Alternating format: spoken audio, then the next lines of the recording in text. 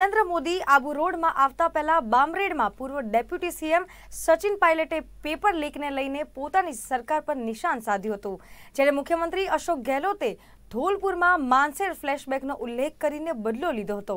ગેહલોતે રવિવારે દાવો કર્યો હતો કે તેઓ કોંગ્રેસના કેટલાક ધારાસભ્યો દ્વારા બે હજાર વીસના વિદ્રોહથી બચી ગયા હતા.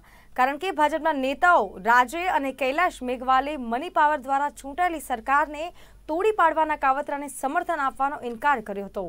કેન્દ્રીય મંત્રીઓ અમિત શાહ, ગજેન્દ્રસિંહ શેખાવત અને ધર્મેન્દ્ર પ્રધાને સાથે મળીને મારી સરકારને તોડી પાડવાનું કાવતરું ઘડ્યું હતું. તેઓએ રાજસ્થાનમાં પૈસા વેચ્યા હતા અને હવે તેઓ પૈસા પાછા નથી લઈ રહ્યા. મને આશ્ચર્ય થાય છે કે શા માટે તેઓ તેમની પાસેથી પૈસા પાછા માંગતા નથી. મહત્વનું છે કે દસ મેના રોજ નરેન્દ્ર મોદીનો આબુ રોડ આવવાનો કાર્યક્રમ છે. આ કાર્યક્રમ દ્વારા આબુ રોડમાં પ્રધાનમંત્રી મોદી સભાને ગજવશે. બ્રહ્માકુમારીમાં મલ્ટી સ્પેશિયલ હોસ્પિટલનું ખાત મુહૂર્ત પણ કરશે.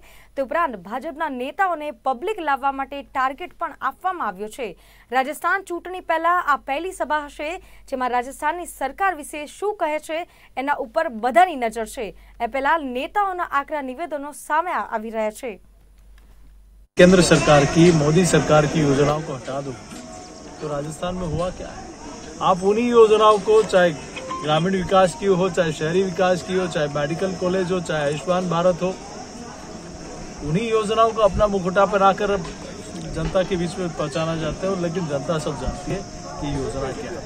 आप केंद्र सरकार की योजनाओं को हटा दीजिए। राजस्थान सरकार ने क्या किया? पिछले साढ़े चार वर्षों में सिर्फ़ और सिर्फ़ देश में सबसे महँगा पेट्रोल राजस्थान ने किया, सबसे महँगा डीजल राजस्थान ने किया, सबसे महँगी बिजली कहीं है तो वो राजस्थान में है, सबसे महँगा व्हीकल टैक्स कहीं है तो राजस्थान में है। दलित और महिला अत्याचार में देश में नंबर वन राजस्थान पहुँच गया है। तुष्टिकरण में देश एक नंबर देश में एक नंबर पर राजस्थान पहुँच गया। इसके अलावा आपने क्या किया है साढ़े चार वर्षों सिर्फ़ और सिर्फ़ घोषणा है। आज राहत कैंप के बहाने लोगों को फिर से गुमराह कर रहे हो क्या नरेंद्र मोदी जी से सीखे जिन्होंने अंतिम व्यक्ति तक योजनाओं को सीधे पहुँचाने का काम किया। किसी को गर्मी में आज पचपतरा में एक व्यक्ति उस कैंप में गया और उसकी वहीं गश खाकर गिर गया, चक्कर खाकर उसकी मृत्यु हो गई। कौन जिम्मेदार है उसका? क्यों उसको गरीब को गरीबी का एहसास करा रहे हो? प्रदेश कांग्रेस कमेटी की बैठक बिरला ऑडिटोरियम में हुई थी। उसमें हुआ एक पीपीटी में दिखाया गया कि आने दीजिए भीड़ रजिस्ट्रेशन में, और उनको एहसास होगा कि हम लोग ये दे रहे हैं। आप कोई जनता के पैसा है ये, आप अपने घर से नहीं दे रहे। आपको मुनीम बना कर बैठाया जनता ने। उस पैसे का सदुपयोग होगा, लेकिन दुर्भाग्य कि राजस्थान आज भ्रष्टाचार में एक नंबर पर पहुँचा राजस्थान में।